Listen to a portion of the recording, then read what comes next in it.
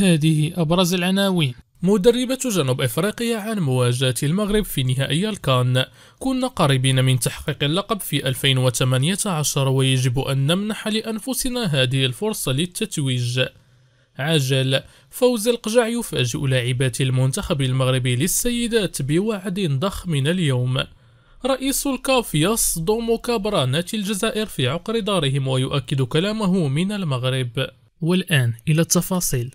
ولكن من قبل باش تكون أول واحد كيتوصل بجديد الأخبار العالمية والمغربية المرجو وضع زر إعجاب واشتراك وتفعيل الجرس. مدربة جنوب إفريقيا للسيدات عن مواجهة المغرب في نهائي الكان. كنا قريبين من تحقيق اللقب في 2018 ويجب أن نمنح لأنفسنا هذه الفرصة للتتويج. عبرت مدربة المنتخب الجنوب افريقي النسوي إليس ديزيري عن سعادتها بالفوز على منتخب زامبيا بهدفين نظيف والعبور إلى نهائي كأس أمم إفريقيا للسيدات المغرب 2022 للمرة الثانية على التوالي. ويلاقي المنتخب المغربي النسوي نظيره الجنوب إفريقي في نهائي كان السيدات يوم السبت المقبل على أرضية ملعب الأمير مولاي عبد الله بالرباط. وقالت زيري في مؤتمر صحفي عقب انتهاء مواجهة جنوب إفريقيا وزامبيا. كنا قريبين من تحقيق اللقب في 2018 هدفنا الأول في هذه البطولة كان التأهل إلى كأس العالم والثاني هو الفوز بالمباراة النهائية. وتبعت يجب أن نمنح لأنفسنا هذه الفرصة للتتويج بعد اقترابنا من تحقيق اللقب في 2018 ثم اختتمت قائلة سنحتفل بالفوز على زامبيا كما نفعل عادة بعد كل انتصار. بعد ذلك سنعمل على التحضير للنهائي.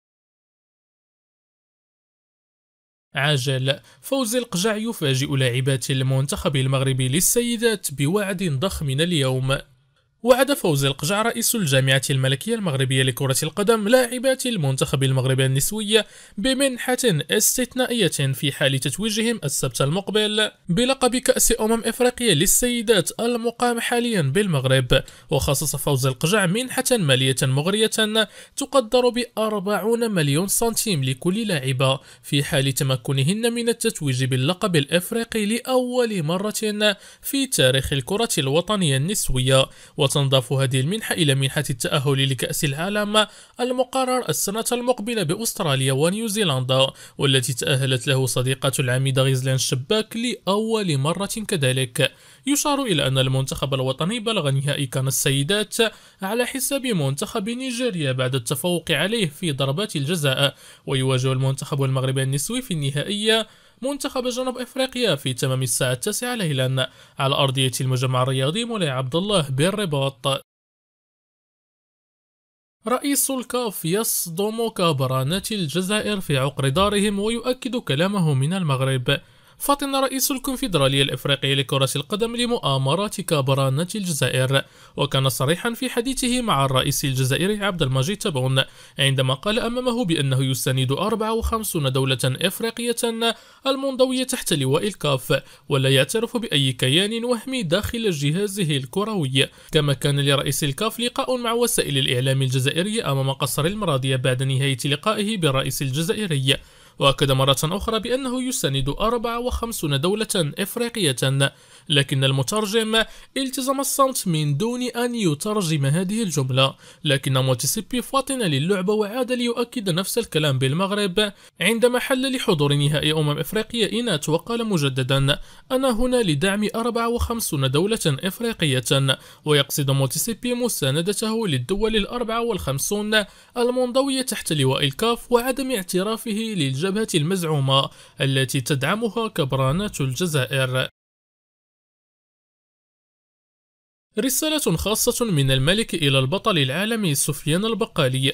بعث صاحب الجلالة الملك محمد السادس برقية تهنئة إلى البطل العالمي سفيان البقالي وذلك بمناسبة فوزه بالميدالية الذهبية في سباق 3000 متر موانع ضمن منافسات بطولة العالم لألعاب القوى يوجين 2022 ومما جاء في برقية جلالة الملك. يسرنا أن نتوجه إليك بأحر التهاني بمناسبة فوزك عن جدارة واستحقاق. بالميدالية الذهبية في سباق 3000 متر موانع ضمن منافسات بطولة العالم لألعاب القوى 2022 التي تحتضنها مدينة يوجين بالولايات المتحدة الأمريكية. وقال جلالة الملك أنه وبهذه المناسبة نعرب لك عن تقديرنا لهذا الإنجاز الجديد الذي مكنك مرة أخرى بفضل ما تتحلى به من روح تنافسية وغيرة وطنية راسخة من رفع العلم الوطني عاليا وإطراء الرصيد الرياضي المغربي ببطولات دولية. وأضاف جلالة الملك أنه وإذ نجدد لك تهانئنا لنرجو لك موصول التوفيق والتألق في مشوارك الرياضي مشمولا بسابغ عطفنا وسامي رضانا. الشابي الرجاء مهد للطريق وفضلت الدفاع الجديد على هذه الأندية. صرح المدرب التونسي لسعد الشابي بعدما وقع عقدا يمتد لموسمين مع فريق الدفاع الحسني الجديدي.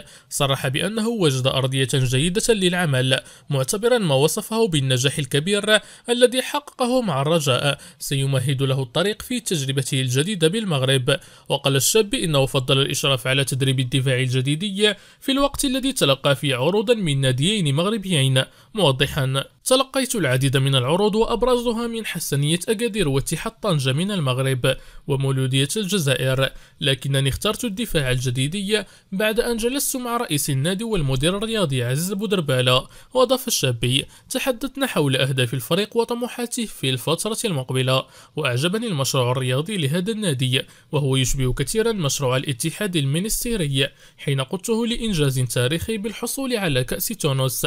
وقال الشابي إنه سيباشر عمله مع الدفاع الحسني الجديدي ابتداء من الجمعة المقبل استعدادا لمنافسات الموسم المقبل. الرجاء يقرر إعارة لاعب تعاقد معه في الميركاتو الشتوي. يتجه فريق الرجاء الرياضي إلى إعارة لاعبه عبد الصمد البدوي الظهير الأيمن في الميركاتو الصيفي الحالي. ويرغب الرجاء في تسريح لاعبها على سبيل الإعارة من أجل تمكينه من لعب مباريات تساعده على الرفع من تنافسيته وكسب مزيد من التجربة والخبرة في الدور الاحترافي.